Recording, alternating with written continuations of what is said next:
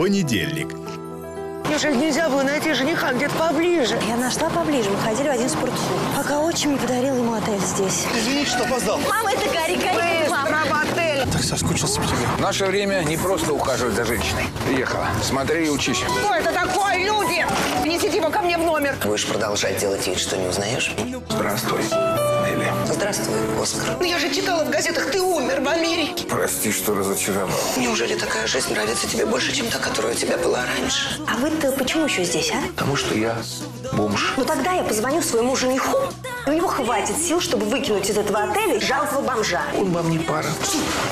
Не обращай внимания, это мамин бомж. Ты хотел новый старт, новую жизнь, без воспоминаний, без прошлого, без меня. До сегодняшнего дня. А что случилось сегодня? Я увидел тебя и понял, что я все еще тебя люблю. Елена Сафонова, Сергей Жигунов, Ольга Красько и Владимир Яглыч в фильме «Откройте, это я» в понедельник на ТВ Рус.